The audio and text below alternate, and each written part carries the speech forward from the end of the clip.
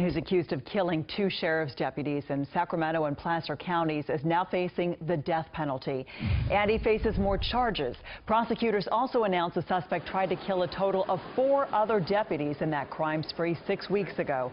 KCRA 3's Sharokina Shams was in court as prosecutors told a judge they want that man put to death. The judge would not allow video of the suspect's face. Looking relaxed and calm, he stood shackled as he listened to an interpreter tell him what a prosecutor said in court. Both offices independently concluded that the death penalty is an appropriate punishment in this case.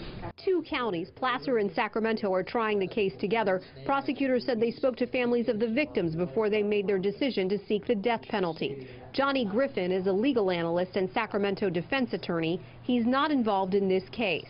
I think the decision to seek the death penalty um, was made with the encouragement of the victim's family and the district attorney's office is moving forward um, in light of that. Prosecutors have also added another charge, attempted murder, to an already long list. They now say on the day the suspect shot and killed Sacramento Deputy Danny Oliver outside this Motel 6, he also tried to kill Oliver's partner, Deputy Scott Brown.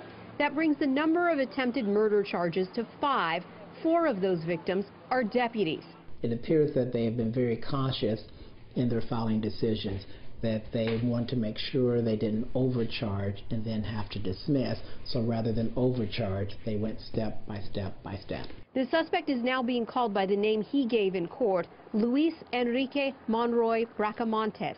He and his wife, Janelle Monroy, who was also in court today, are accused of a crime spree that stretched from Sacramento to Auburn and led deputies on a pursuit that lasted half a day.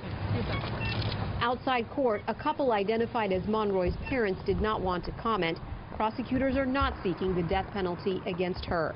In Sacramento, Sharokina Shams, KCRA 3 News. Sharokina also reports those suspects are due back in court in February.